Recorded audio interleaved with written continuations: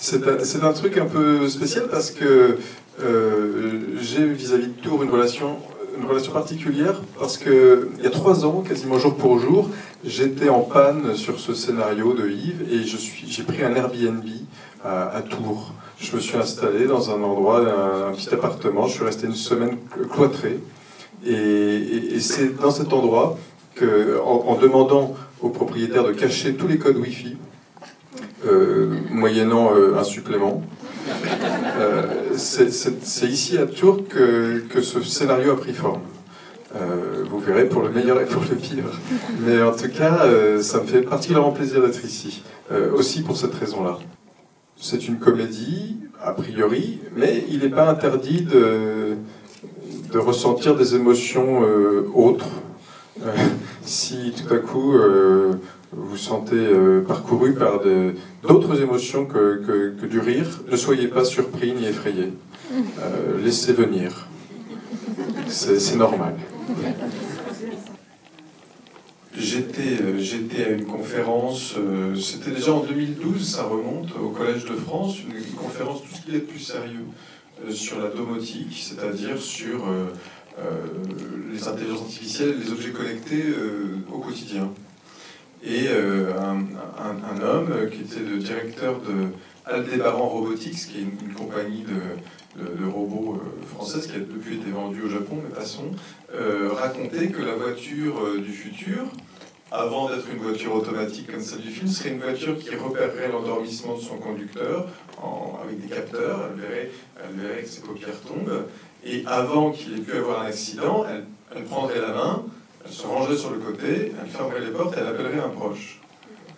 Et cette histoire, je la trouvais très marrante. Je trouvais ça drôle. Je me disais, ça, c'est quand même quelque chose. Ça veut dire que euh, notre futur risque quand même euh, de renouveler le genre du vaudeville. Hein, C'est-à-dire que là, on va avoir quelque chose euh, avec ces objets connectés autour de nous qui, qui, nous donnent des recommandations, qui, sur la, la foi de leur expertise, nous apprennent comment vivre. C'est quelque chose d'angoissant, mais il faut en faire une comédie. Quelque chose à faire, quelque chose à raconter, qui puisse être aussi poétique et qui puisse être drôle. Je ne suis pas un, un technophobe, euh, parce que, euh, comme beaucoup d'entre nous, peut-être en fait, je, moi, j'ai grandi et vieilli avec, euh, des ordinateurs. À partir du jour où, j'ai eu un ordinateur, ma, vie a considérablement changé.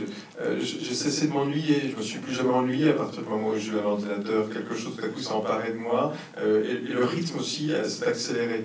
Et, donc je, suis, je reste assez fasciné par ces objets.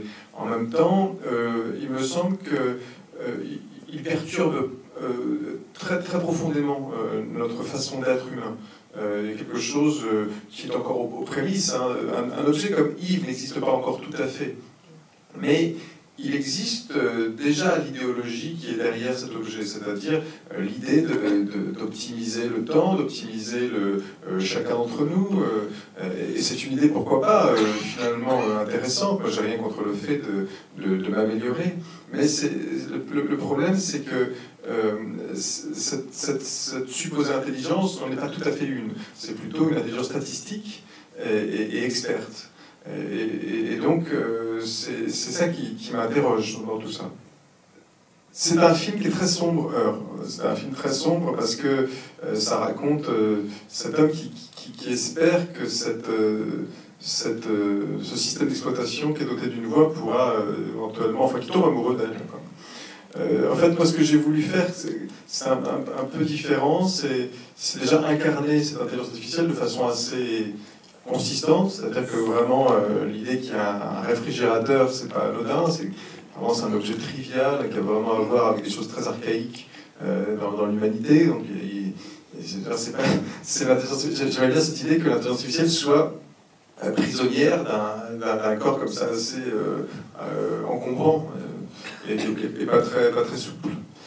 Et puis, il y a l'idée aussi de jouer sur des, sur des ressorts qui soient, euh, soient aussi comiques, hein, qui puissent être quelquefois un comique un peu sombre, un peu, noir, mais en tout cas, j'avais envie de jouer aussi avec un aspect euh, euh, burlesque de, euh, de notre rapport aux intelligences artificielles. En fait, c'est des choses que, que j'écris quelquefois comme ça, sans trop savoir pourquoi, et ensuite je comprends.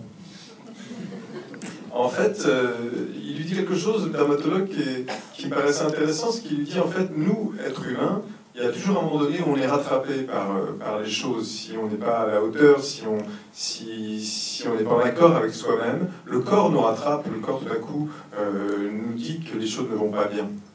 Or, ça, c'est quelque chose dont les intelligences artificielles ne pourront jamais bénéficier. Ça, euh, ça, ça, ne marchera pas avec les, les IA. Elles n'auront pas, elles n'ont pas de chair, elles n'ont pas de corps. Et donc, il lui rappelle ça, le dermato. Il lui dit, vous savez, si vous faites rien, euh, donc c'est à la fois un personnage qui est un personnage un peu comme ça de, de conte, hein, c'est-à-dire c'est celui coup qui vient faire prendre conscience au héros qu'il va falloir qu'il se révolte, mais c'est évidemment pas un hasard si c'est un dermatologue. il, est, lié vraiment au derme et à la chair. Et je ne m'en suis pas aperçu sur le coup, mais, mais après, euh, suis dit, mais voilà pourquoi j'ai choisi un dermatologue, c'est parce que c'est cette histoire de chair qui fait toute la différence entre nous et, les machines. Alors ça, euh, donc il y, a deux musiques distinctes dans le film.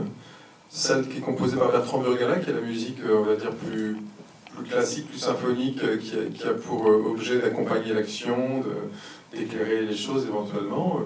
et puis il y a la musique rap, qui elle fait partie du scénario en soi, puisqu'en fait on comprend à travers la musique rap l'évolution du personnage en tout cas ce qu'il vit, puisque son premier morceau tout à coup se retrouve transformé par l'intelligence artificielle et se, retrouve à avoir du succès. Donc ça, c'était quelque chose qu'il a fallu euh, faire avec beaucoup de soin, parce que euh, comme ça devait raconter quelque chose, euh, il, fallait que, ça repose sur des, sur des, bases euh, réelles, qu'on puisse euh, y croire, qu'on puisse croire qu'il s'agit bien d'un type qui fait du rap dans son garage, et puis qu'ensuite on puisse croire qu'il s'agit bien d'un tube.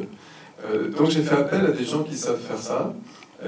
Donc, parce que j'avais commencé à, le faire moi, mais, mais c'était pas assez proche de, ce qu'est le rap vraiment dans toute sa, sa verdeur aussi, dans toute sa, crudité quoi, de termes. Hein. Et, donc, euh, ce sont deux garçons qui s'appellent Mime pour, pour, la musique et Tortoise pour les paroles, qui ont conçu cette, musique.